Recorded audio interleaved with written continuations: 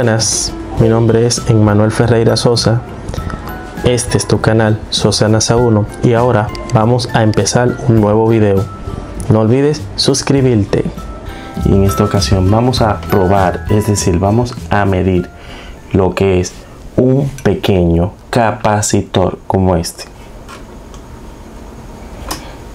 Un pequeño capacitor como este. Este es un capacitor de poliéster, el cual está constituido por legadas láminas de poliéster unidas con aluminio, el cual se introduce de forma líquida y luego se solidifica. El capacitor es un componente pasivo, el cual almacena energía en forma de carga eléctrica. Esta carga eléctrica se mide en forma de faradios, los cuales medimos con el multímetro digital. Para medir cuántos faradios tiene este capacitor hay dos opciones. En la parte superficial nos indica el valor en microfaradio, pero hay un detalle. En este caso, la unidad que usa este capacitor es nanofaradio. Pero esta parte de esta empresa no siempre coincide con el valor real que tiene el capacitor. Para verificar la condición del capacitor es necesario utilizar el multímetro digital, el cual te voy a mostrar ahora cómo utilizar para medir cuánto faradio tiene este capacitor y así determinar cuál es la capacidad que tiene en lo que se refiere a el almacenamiento de energía en forma de campo eléctrico que puede almacenar este capacitor. Bien. Es bueno recordar que este tipo de capacitor de poliéster no tienen polaridad. Por eso vemos que las dos salidas de metal por el cual se conecta al circuito son iguales o celuen. Incluso, como vemos en la parte superficial del cuerpo, no tiene ninguna señalización para diferenciar un lado del otro. Por esto, este capacitor no tiene polaridad. Bien, aquí tenemos dos capacitores porque debemos comparar el valor de uno y el de otro para verificar que están buenos o más o menos son nuevos. Realmente estos capacitores son nuevos, pero debemos poner a prueba eso midiendo aquí. Bien, el multímetro digital. Estamos usando en esta ocasión este multímetro digital, ya que nuestro multímetro digital clásico, es decir, este multímetro digital no tiene la opción para medir faradios, nanofaradio, microfaradio, etc. Como no tiene la opción, es necesario utilizar otro multímetro digital que sí tenga la opción. En este caso, aquí, como podemos ver, tiene la F, F de faradios. Y como podemos ver, mide desde 20 nanofaradio hasta 200 microfaradio. Es bueno recordar que un microfaradio equivale a 1000 nanofaradios. Por esa razón está en la parte superior los 200 microfaradios y los nanofaradios están en la parte inferior. Siempre va de menor valor a mayor valor. Bien, una vez sabemos esto, vamos a configurar este multímetro. Lo primero que hacemos es que leemos aquí en la superficie del capacitor vamos a ver aquí en la superficie del capacitor tenemos aproximadamente dice ahí 330 nanofaradio. Entonces como aquí vemos dice 20 nanofaradio 200 nanofaradio y aquí dice 330 tenemos que ponerlo en 2 microfaradios que esto equivale a 2000 nanofaradios para que tengan una idea. Por lo tanto, el valor que te va a medir aquí siempre va a estar después del punto, porque un microfaradio equivale a 1000 nanofaradios. Y como el valor que vamos a medir está por debajo de 1000 nanofaradios, que es un microfaradio, aquí te va a mostrar siempre 0 punto y te va a dar el valor. Bien, tomando esto en cuenta, hay otra cosa que tenemos que hacer. Aquí, como vemos, tenemos varios espacios para colocar los conectores.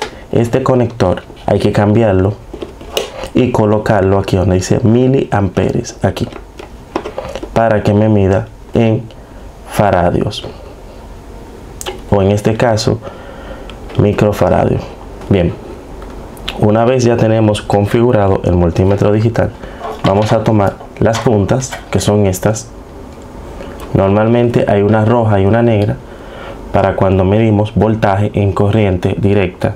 Pero en este caso como este capacitor no tiene polaridad no se toma en cuenta el orden de la conexión que realicemos. Entonces yo voy a tomar esto y lo voy a colocar ahí como vemos. Y ahora voy a colocar y tocar este lado. Y veremos la pantalla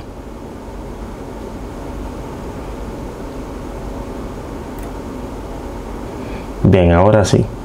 Como vemos en la pantalla me muestra 0.372 microfaradios.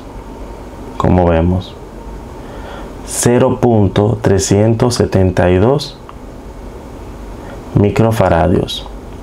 Eso equivale a 372 nanofaradios para que tengan una idea.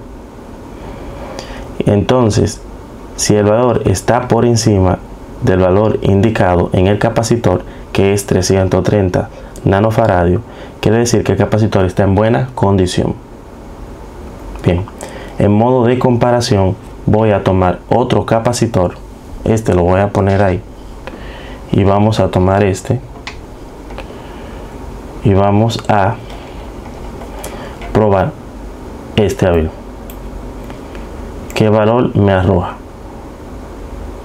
Como vemos, me está dando un valor similar 0.374 microfaradio o 374 375 microfaradio o 374 nanofaradio. Como vemos 374 375 nanofaradio más o menos. Bien eso quiere decir que estos dos capacitores tienen un valor similar en capacitancia la capacitancia es la unidad de medida de almacenamiento de energía en forma de campo eléctrico dentro del capacitor. Mientras mayor cantidad de microfaradios tenga un capacitor, mayor capacidad de almacenamiento de energía en forma de campo eléctrico tiene el capacitor en su interior. Bien, este es un tipo de capacitor muy importante para decirles de poliéster. El material que está hecho de poliéster pero es un tipo de capacitor metálico por lo que le acabo de decir de que la forma en que están unidas las láminas delgadas en el interior del capacitor es con aluminio por eso este capacitor es de tipo metálico para que lo tengan en cuenta hemos llegado a la conclusión de que todos los capacitores están en muy buena condición ya que tienen un valor similar Incluso podemos medirlo de nuevo si desean. Bien.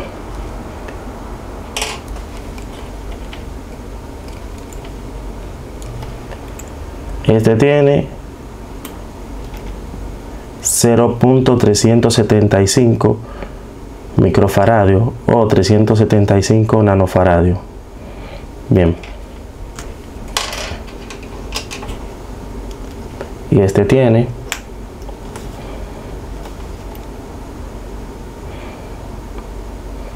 0.373 o 374 microfaradios o, o 374 nanofaradios o 373 nanofaradios como vemos.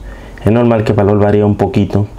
Bien ya hemos realizado la prueba cualquier pregunta me la dejan en la caja de comentarios cualquier duda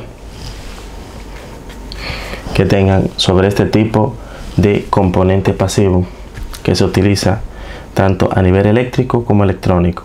Bien, mi nombre es Emmanuel Ferreira Sosa. Si les gustó este video, pueden suscribirse a nuestro canal Sosanasa 1. Pueden compartir este video, darme un me gusta. Al suscribirse, no se le olvide activar la campanita de notificaciones y le doy las gracias a los que ya están suscritos a nuestro canal Sosanasa 1. También no se le olvide apoyar nuestro canal secundario Informática en la PC, en la que le enseño cómo resolver problemas en la computadora a nivel de software, que son programas, y a nivel de hardware, que es componentes físicos de la computadora. Informática en la PC. Se pueden suscribir también a ese canal aquí en YouTube. Y no se le olvide también seguirnos en nuestra página de Facebook, Sosanasa 1 Real. Y gracias por vernos. Cuídense mucho. Nos vemos en la próxima.